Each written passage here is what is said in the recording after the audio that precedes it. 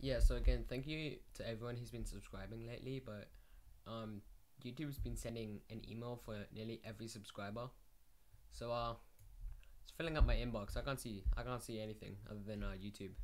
So uh could you guys uh, uh, could you guys uh please stop subscribing real quick? Uh that that'd be awesome. No, thank you.